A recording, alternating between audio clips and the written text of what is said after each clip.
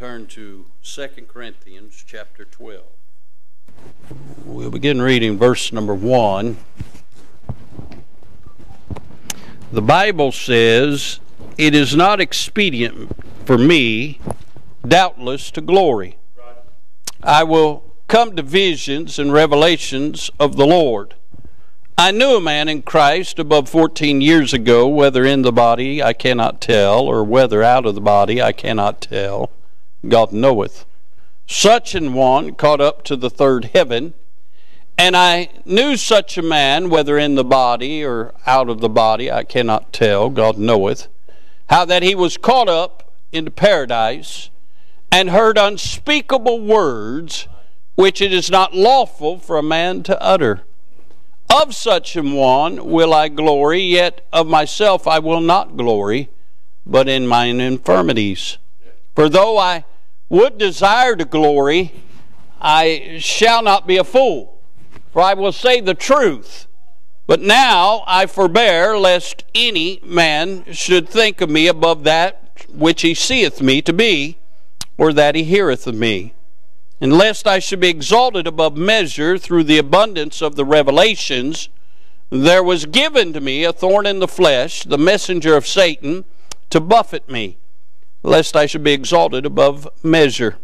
For this thing I besought the Lord thrice, that it might depart from me. And he said unto me, My grace is sufficient for thee, for my strength is made perfect in weakness. Most gladly, therefore, will I rather glory in mine infirmities, that the power of Christ may rest upon me. Therefore, I take pleasures in infirmities, in reproaches, in necessities, in persecutions, in distresses for Christ's sake. For when I am weak, then am I strong. Let's pray. Father, we bless you. Lord, we thank you for all your choice blessings. We thank you for the privilege afforded us to be able to come to the house of God this morning. Lord, we thank you for this good number that's assembled this morning. Thank you for a good report of the good jail services. Thank you for a good Sunday school hour. Thank you for being a good God. Thank you for allowing me to see my friend, Brother Todd, and his family. What a blessing they've been to me through the years. Lord, we love them. And God, we're thankful to get to see them today. Now, Father, for the next few minutes, I pray you'd help us. Lord, there seems to be a heaviness here. There seems to be a weight. And so, Lord, we pray that you'd put a hedge about us. We certainly plead that you'd bind the powers of hell. We pray that you'd bless your people. There may be a heaviness because some are facing heavy burdens. Some may be facing some tumultuous trials. Some may be facing heartache, and some may just have been contending with the old flesh, the old devil all week. Lord, we do not know, but you know. But we do know one thing that, Lord, you're good to us. Amen. Lord, your grace is sufficient. And God, you're a great God. I pray for the next few minutes you'd help that one that is struggling. I pray for that one that is seeking they would find. I pray, as Brother Todd has prayed, if there be any amongst us today unsaved, never been born again, that today would be the day of their salvation. I pray that you'd use this unworthy vessel. Help me to say everything you'd have me to say. Help me not to say anything contrary to the word or will of God. Lord, you alone know us what we stand in need of, and God, you do all things well, and I pray you'd help us this day. We bless your holy name. Have your will and way amongst us, for it's in the wonderful and holy and glorious name of the Lord Jesus we ask these things. Amen. Amen. Many say that the Apostle Paul's the greatest man outside the Lord Jesus that ever walked on the face of the earth. The Lord Jesus himself said it was John the Baptist. But I can say one thing I have never laid eyes on anybody the caliber of the Apostle Paul. What a great man of God he was. A man that suffered much, but a man that did much for the honor and glory of God. Nearly half of your New Testament was penned at his hand. He planted churches throughout the known world and was used of God greatly. I dare say, had it not been for the Apostle Paul being obedient to bring the gospel to the Gentile nation, you and I would be lost and on our way to hell today. Notice some things about this text. I want you to notice the blessing of Paul. He says in verse number one, It's not expedient for me, doubtless to glory.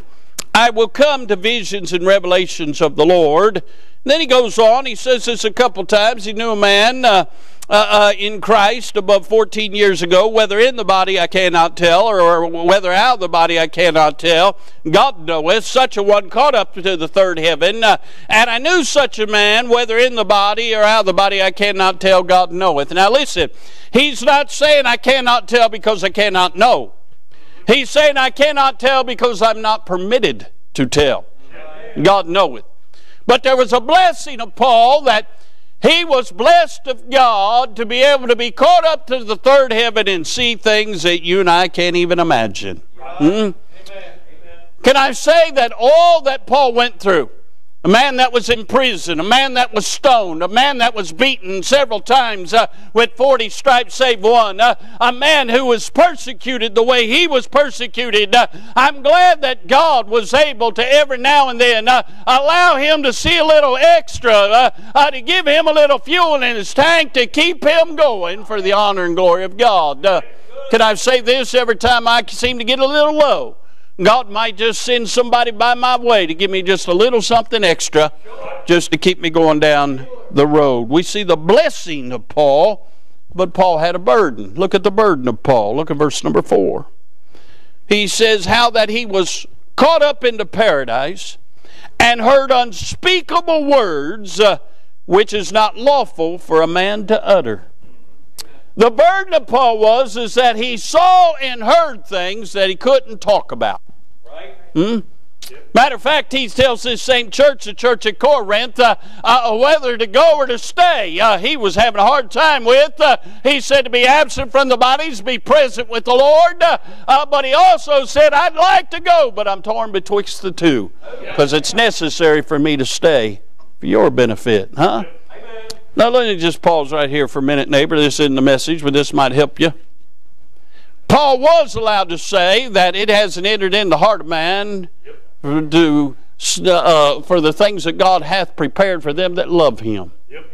Jesus said, I go to prepare a place for you, and if I go to prepare a place for you, I will come again, receive you unto myself, that where I am, there you may be also. Right. Friend, I know uh, we look around this world, and I know that uh, uh, in our flesh there are things that cause us to hesitate. We're ready to go to heaven, we just don't want to go right now. Uh, uh but, friend, if you could really get a glimpse of the other side uh, and the glory of the Lord, and John gave us a few glimpses, uh, and if you could get a glimpse of what God hath gone to prepare for you and I, friend, death would not be the king of terrors. death would be a stepping stone to go on to the other side and be with the the Lord. Uh, and friend, uh, you and I that have loved ones that are over there, a uh, friend, they're not suffering. They're being what they were created to be.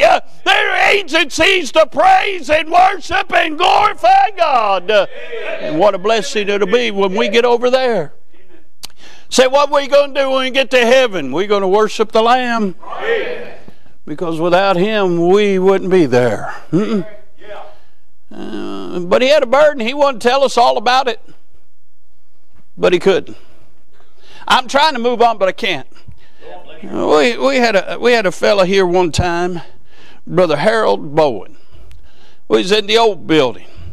And Brother Harold had bad health, had real bad health, had a bad heart.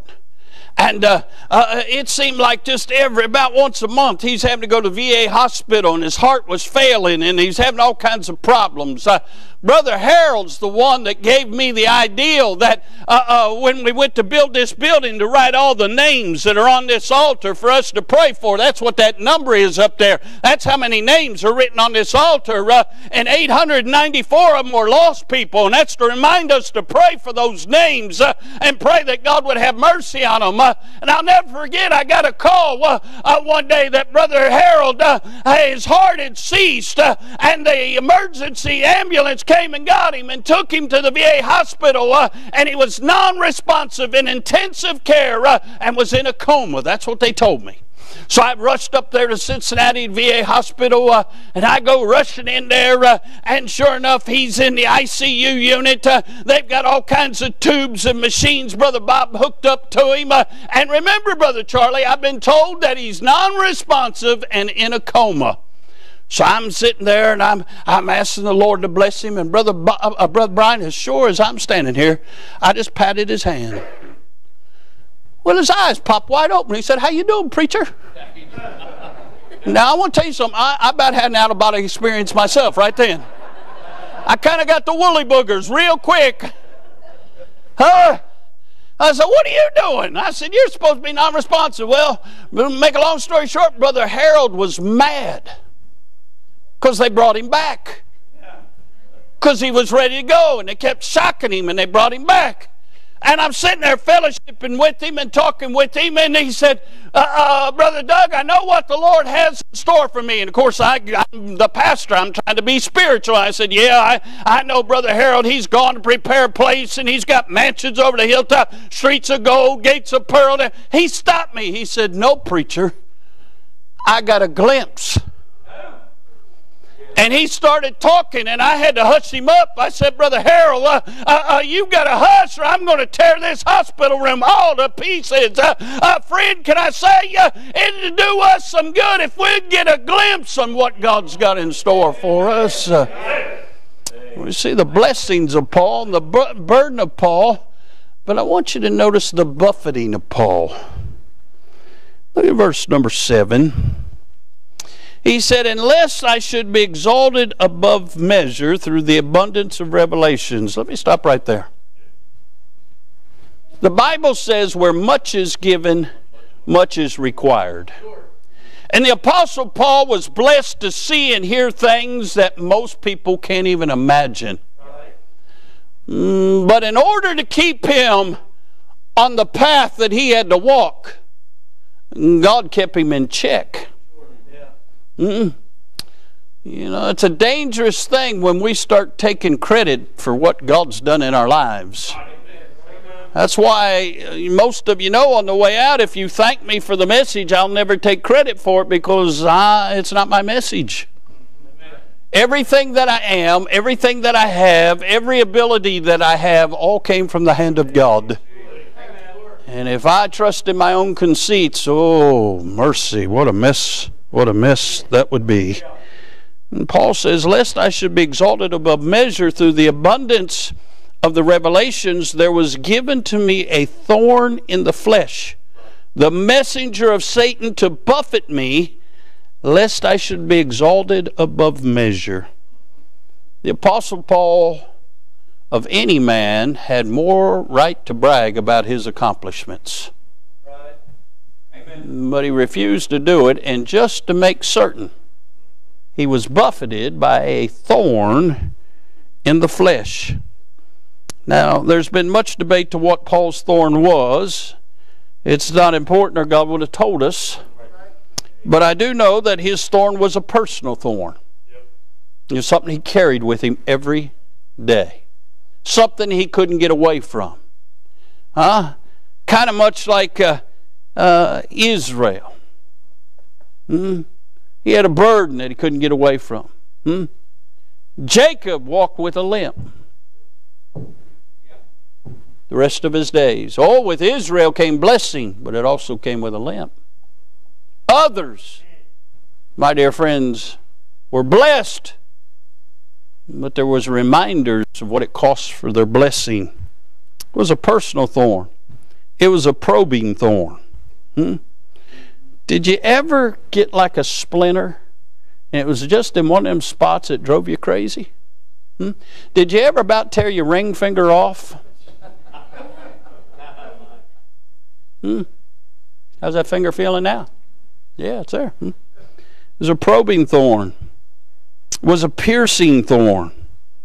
It was a permanent thorn. As long as he was in this body.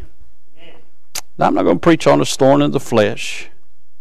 Although I am glad the next verse he said that God told him, My grace is sufficient for thee. And friend, can I say you'll never go through anything that God don't have enough grace to help you get through it? I'm interested in verse number 10. He concludes this verse by saying, For when I am weak, then am I strong. I don't preach on this thought this morning. I want to preach on weak minded Christians. Now, Brother Bob, I got two of you. I did not say I'm preaching on weak Christians. There's a difference between a weak Christian and a weak minded Christian. Can I say that weak Christians have very little faith? And without faith, it's impossible to please God. Can I say that weak Christians have very little fervency or devotion? Mm, little dedication. Mm. But can I say this? Weak Christians also have little fire. But I'm interested in weak minded Christians. Paul had the right mindset he said, When I'm weak, when the thorn was given to buffet me to keep me weak, I found out in my weakness I'm made strong in the grace of God. Amen. A weak minded Christian understand what, understands what it is to depend on God. So let me give you a few things about weak minded Christians. Can I say, first of all, that weak minded Christians are a tool for God? Yeah. Look again at verse number 7. And lest I should be exalted above measure through the abundance of the revelations, there was given to me a thorn in the flesh. Uh, uh, Paul said that uh, had I been left to my own conceit, I'd been no use for God. Uh, uh, but hey, being a weak minded Christian uh, who has to depend on God, now he's not exalted above measure, but he's humble, and God resisteth the proud but gives grace to the humble. and God can use someone of a humble estate to be a tool to be a vessel, to be an instrument uh, that brings others to God. What a blessing to be a tool for God. Can I say nothing better will ever eh, will anything ever be said of you other than that you have been used of God to help somebody else? Mm Now, we can't save anybody. But if God puts his hands on us, we can short, certainly point them to who can save them. Huh? We can't do anything of ourselves. Jesus even told us in John 15 without him, we can do nothing. Without his touch, we're not much. But in his hand, the master can take any of us and do something great. A weak minded Christian, he's a tool for God. Can I say something else about weak minded Christians? They're tried. Yeah. Mm, yes. Mm, Paul said that he was given that thorn of the flesh, the messenger of Satan, to buffet him, lest he should be exalted above measure. Peter talked about the trial of our faith. And I say, if it's not been tried, it can't be trusted. And weak minded Christians are tried. Can I say Christian? That's why a lot of people don't want to be a weak minded Christian. Hmm? What they don't understand is they're being tried anyway, at least in the court of public opinion. Those fellows you work with that you keep inviting to church, keep witnessing to they may never come to church with you, but they're watching your life. Absolutely. So you're being tried. Might as well let the master try you and then let him use you. Because it's one thing for him to see you, it's another thing for them to see his hand on you. Hmm? Uh, a weak minded Christian is tried. Hmm? You still got that baby? You ain't giving her up, are you? Yeah, all right. She's happy. Hmm. Huh? You know why that baby's happy? That baby's trusting Miss Vanessa. Yep. Trusting Miss Vanessa not to drop her. Trusting Miss Vanessa to feed her if she gets hungry. And what a blessing to change her if she gets dirty. Hmm? Huh? That baby can do nothing on her own. Why do you think the Bible talks about us having a childlike faith? When we get to realize that we can do nothing on our own, and we have to depend on God to hold us. We have to f- depend on God to uh, uh, feed us, and we have to depend on God to clean up our messes. My dear friends, we become weak minded, but we become heavenly strong. Mm. Uh, Paul went on to write to Galatia, not I, but Christ that liveth in me. Mm. Can I say, Weak minded Christians are not only a tool for God and they're not only tried, but weak minded Christians travail. Look at verse number 9. And he said unto me, My grace is sufficient for thee, for my strength is made perfect in weakness. Can I say, and I know Brother Todd doesn't have this problem down in Florida, but I'm so tired of Christians and preachers and deacons and trustees and teachers quitting on God. No, the easiest thing to do is quit. It's also the hardest thing to do because then you have to contend with God rather than the devil. Hmm? But weak minded Christians, they find another gear and they travail. Sure. Hmm? Hmm. At about eight and a half months, Miss Taya was ready to deliver Miss Ella Rose. About 15 minutes into them contractions, she was beginning to wonder about that thing. 30 minutes in, she said, No more. This is it. We're not having any more. And then we got her. By the time they got her home, she's thinking, I could do that again. Hmm? Can I say the blessing of the product of the travail is far worse the pain of the travail? And when the blessing arrives, you forget all about the pain. Hmm? Uh, Weak minded Christians travail. Uh, now, listen, they are remorse, they're broken. It troubles me when there are folks who claim to be saved for 30 years, but you never see them broken. Hmm? I'm going to give you this. Hope this doesn't offend you. If it does, oh well. I'll take a baby aspirin and go to sleep tonight. Nobody in here has a red cape or big yellow S on their chest. Nobody in here has a halo. Hmm? Uh, there's no super Christians. There's just Christ like Christians and non Christ like Christians. But, friends, somewhere along the line, if nothing else, when you get a glimpse of Calvary and what Jesus paid for your sin, it'll break your heart. The weight of seeing loved ones not come to Christ will break your heart. The weight of seeing sinners reject the gospel and reject the good news of Christ will break your heart. Coming to church and seeing Christians grow colder and colder and colder on God will break your heart. Amen. Those that travail, they, they get broken. One writer wrote, God will never use a man greatly until he wounds him deeply. I can remember we used to go to the shopping mall. I made a point to look at people's faces and look in their eyes, Brother Ron. And so many people in this world have no hope. They're existing, but they're not alive. It used to break my heart. The indictment is, is I've gotten so busy and so used to seeing people, it doesn't break my heart like it used to.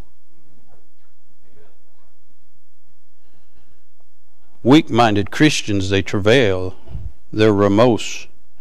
They're also reliant on God. Hmm? she knew either that epidural or Jesus was getting her through that. Hmm? I wasn't back there, didn't want to go back there, couldn't have paid me to go back there. I paid my price three times. But I'm thinking, I'm glad I'm not in his shoes. Because she's miserable. Nothing gives her relief. But as soon as she held her, and even if it didn't bring you relief, brought us a lot. We had her last night. Said, "What'd you do?" I just held her. When she's at the house, I'm good for nothing. Hmm? That's what babies are here for. We're to hold them and spoil them and give them back to mama. But weak minded Christians, they travail and they become broken, become dependent on God but they also remain. Flip back a few pages to chapter number 4.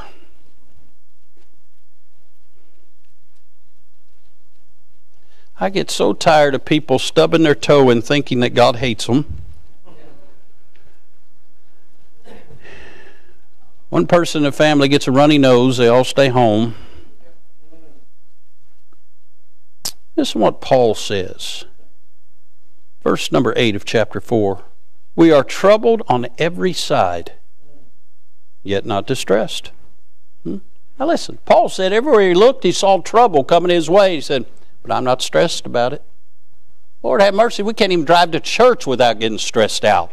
Huh? Yeah, he said, We are per- perplexed, but not in despair. Persecuted, but not forsaken. Cast down, but not destroyed always bearing about in the body the dying of the Lord Jesus, that the life also of Jesus might be made manifest in our body. Huh? Paul never saw the glass half full. He just always saw it for what it was. And no matter what came his way, he realized he ought to be in hell. But he's not going to hell because of the grace of the Lord Jesus. Do you realize this is as close to hell as a Christian's ever going to get? You could depend on Paul. He was uh, uh, faithful to the end. matter of fact, he even said, I finished my course, I kept the faith. Uh, uh, uh those Christians that are weak minded, they travail, they remain faithful to God. Hmm? I thank God for those of you. I look around, some of you have been here 20 years, 25 years, 15 years, and, and to endure me for that long, you got a special crown in heaven, I'm telling you. Huh? But thanks be unto God for those that just remain. There's some, there'll always be some that come and go, but hey, weak minded Christians, they remain. Hmm? Can I say this about weak minded Christians? They're true. They're true. Verse number 9 tells us again Most gladly, therefore, will I rather glory in my infirmities that the power of Christ may rest upon me. Whew. I would to God that most Christians and most preachers quit looking for an easy way out, quit asking God to remove the thorn, and say, I'd rather be in this shape and have the touch of God than to have the thorn removed and have an easy path no touch of God. Hmm?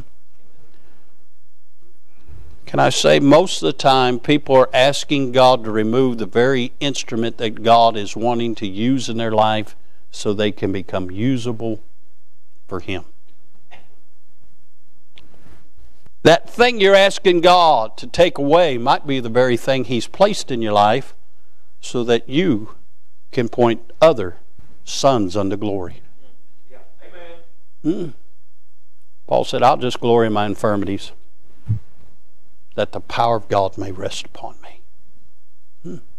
The problem, Brother Tony, is, is so many people have gotten so used to living without the power of God, they're more comfortable there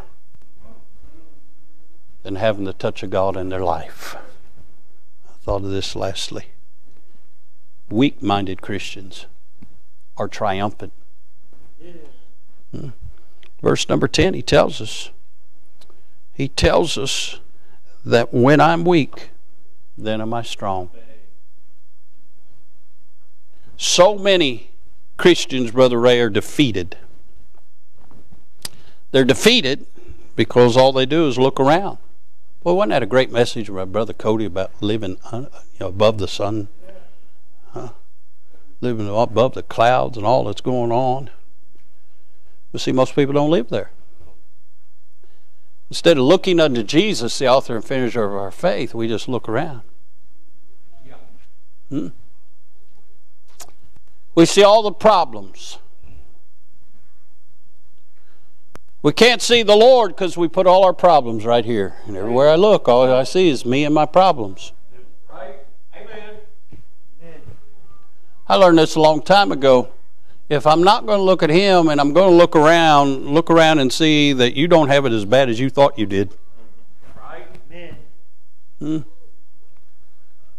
Too many of God's people live a defeated life. And when they go to, jo- to the job and when they go to school, when they go out in the community, they got the same verbiage as the world does. They're complaining about the weather, complaining about this in their life, complaining about that in their life. And who in the world would want what we got yeah, if it's no better than what they have? Right. Hmm? Huh. Well, the weather's terrible. But Jesus is wonderful. Amen. Well, you see what's going on in this old sin cursed world. Yeah, but if you knew what was going on in my home. Right. You get to talking that way around them long enough, either they're going to leave you alone or they're going to want what you have. Because yes, there's nothing good in this world. Right. The news will lie to you, yeah. the government will lie to you. Amen. Huh? Your dog will lie to you, but Jesus won't. Amen. Paul said, All men forsook me, nevertheless the Lord stood by me. Hmm. I'm saying, friend, weak minded Christians, they don't see everybody walking out, they see Jesus hanging out. Amen. They're triumphant.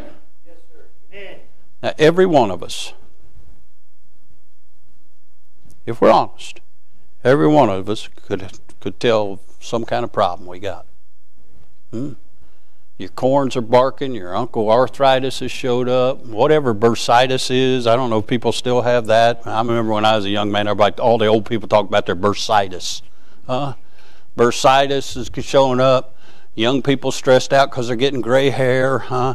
didn't get enough likes on whatever you got likes on and and if we if we really get around we've all got something negative we could dwell on the difference between weak-minded christians and weak christians weak christians dwell on it weak-minded christians have learned to dwell on him hmm.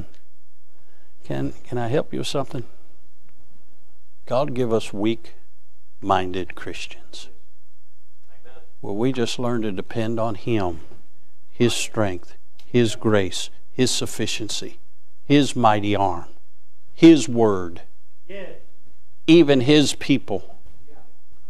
Because when we learn to depend on the right things, you'll have victory. Hmm? Hmm? Listen. Never liked a loser. Never wanted to pull for a loser. Never wanted to be a loser. Never liked losing. Did you ever play on a team that never won? It's pretty depressing. I'm not talking about the ones you coach, Tommy. it is true. I prayed and asked God, help me not say anything that was contrary to His word or His will. And you're a loser, Tommy. Sorry. You're a great guy, but need some help in the coaching department. And I, I, I offer Bob. Bob will help you. No? We don't like losing, but we accept it as Christians. Yet the Bible says, Thanks be unto God, which giveth us the victory through Jesus Christ our Lord. We're promised victory, but we don't live there.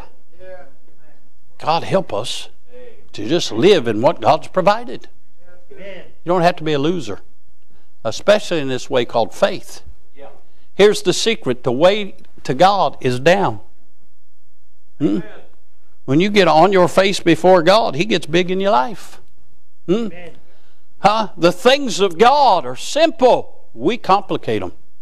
Hmm? Yeah. If we just take His word at face value and believe it, and practice it, you'll have victory. Unfortunately, mm, I'm as guilty as anybody. Too many times we let it go in one ear and out the other until something falls apart. Then all of a sudden we want to scramble it and find it. Amen. Why don't we just live in it? Amen. Become a weak minded Christian. Too many of us think more highly of ourselves than we ought to. And the Bible says, Brother Ron, as a man thinketh, so is he. And so the greater you think you are in your mind, you build that person up. And that's why you have so much so much of a difficult time with trials and tragedy. When you realize I'm crucified with Christ, nevertheless I live. Yet not I, but Christ that liveth in me. The life I now live by the, uh, I live by the faith of the Son of God, who loved me and gave himself for me. my dear friends, when we put ourselves in our right perspective and become weak minded, God can do great things in our life. Uh, he's not going to write another Bible, but He may use you to write somebody's name down in heaven. Will you be a weak minded Christian? Or just a weak Christian? Hmm. Life's too short for weak Christians. Churches are floundering because there's too much weak Christianity. Preachers are floundering because they become weak. God help us just be weak minded. Depend on God and see what God does. Uh, again, I'll quote Larry Seals without his touch, we're not much.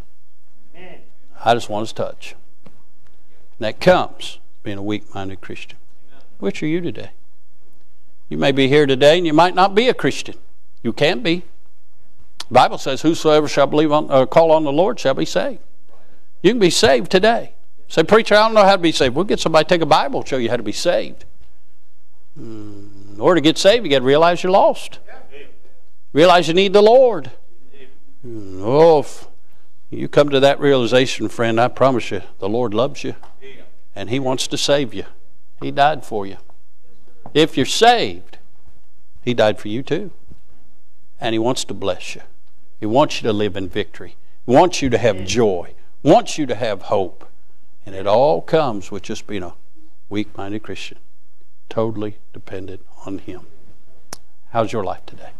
Let's all stand, Brother Clint, if you'll come get a song of invitation. God spoke to your heart, the altar's open. If you're here today and you're not saved, if you come, we'll get, get somebody take a Bible and show you how to be saved. Maybe you want to come this morning and just tell him you love him or tell him thank you. tell him thank you for the Word of God and thank you for what he's done in your life. Folks are coming. They're picking out a song. Let's pray, Father, we love you. Thank you for the Bible. Lord, thank you for what you did in Paul's life.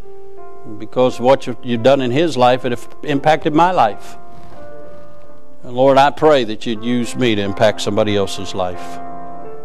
Uh, Father, I pray you know the heart of everyone here today. I pray if anybody's unsaved, they'd come. Let's take a Bible and show them how to get saved. Lord, I pray for those that are saved that might be weak, help them to become weak minded. Those that are weak minded, help them to remain. And God, I pray you'd use them for your glory. Help us to live in the victory that you provided. God, have your way this morning. We'll bless you for it, for it's in Jesus' holy name we do pray. Amen. Did you know that you could receive a daily devotion every morning in your inbox? Head on over to ibcflorence.com and click on Daily Devotions to sign up today. And as always, thanks for listening.